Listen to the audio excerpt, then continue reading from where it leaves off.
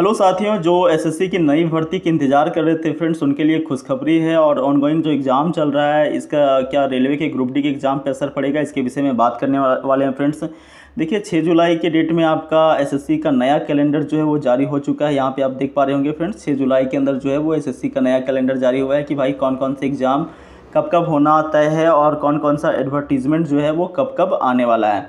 तो देखिए, सबसे पहला बात करते हैं एमटीएस के एग्ज़ाम के ऊपर मल्टीटास्किंग स्टाफ जो है वो हवलदार की वैकेंसी है जिसके अंदर। तो ये ऑलरेडी इसका एडवर्टीजमेंट आ चुका है और एग्ज़ाम जो है वो पाँच जुलाई यानी पिछला कल से जो है वो स्टार्ट हो चुका है एग्ज़ाम और बाईस जुलाई तक इसका एग्ज़ाम जो है वो चलने वाला है। तो यहाँ पे मंथ ऑफ़ एग्ज़ाम आप देख पा रहे होंगे फ्रेंड्स, जुलाई के अंदर होने वाला है।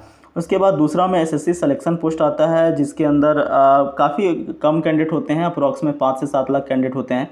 तो इनका एग्ज़ाम जो है वो अगस्त में लेना प्रस्तावित है।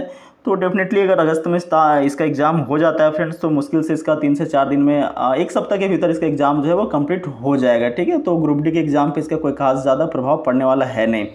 उसके बाद recruitment of head constable ministerial in Delhi police 2022 तो दिल्ली पुलिस के अंदर जो हेड कांस्टेबल का एग्ज़ाम है, उनका अक्टूबर में लिया जाना है। तो देख सकते हैं फ्रेंड्स यहाँ पे अगस्त के बाद सितंबर का महीना आपको पूरा का पूरा क्लियर बता दिया गया है, खाली रहेगा।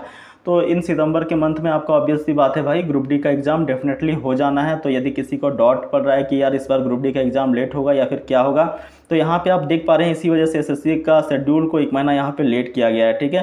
तो यहाँ पे बीच में एक मंथ का गैप है। यहाँ पे डेफिनेटली आपका डेढ़ मंथ के अंदर जो है वो ग्रुप डी का एग्ज़ाम को रफा दफ़ा एकदम पूरा का पूरा क्लियर कर दिया जाएगा।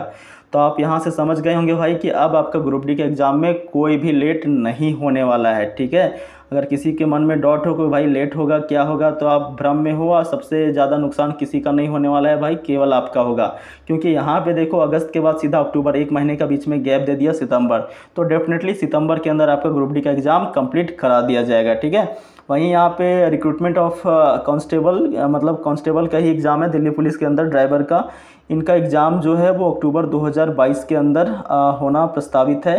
और उसके बाद आप यहाँ पे देख पा रहे होंगे फ्रेंड्स, ये सारे कैलेंडर्स को आप देख पा हाँ। इसका मैं लिंक आपको डिस्क्रिप्शन बॉक्स में दे दूँगा। तो वहाँ से जा कर के आप चेक कर लीजिएगा। हालाँकि मोस्ट अवेटेड जो है, वो एसएससी जीडी है। उसके विषय में मैं आपको यहाँ पे बता ही देता हूँ।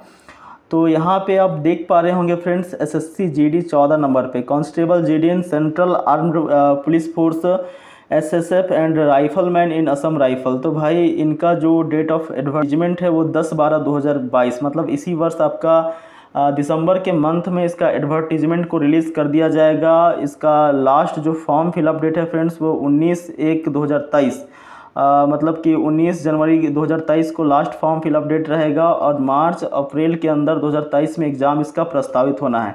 तो भाई डेफिनेटली जो भी बंदे इस बार जिनका मार्क्स कम रहा या फिर सेलेक्ट नहीं हो पाए तो भाई आपको लग जाना चाहिए और डेफिनेटली इस बार आपको सिलेक्शन लेना है।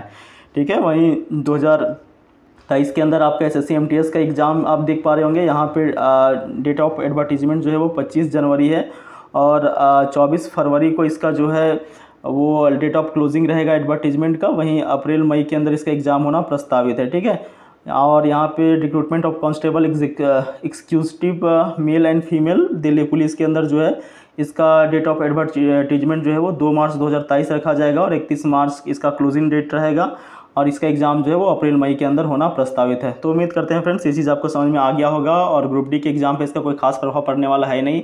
ऑलरेडी यहाँ पे ग्रुप डी के लिए एक मंथ के बीच में गैप दे दिया है सितंबर के माह सितंबर के मंथ में।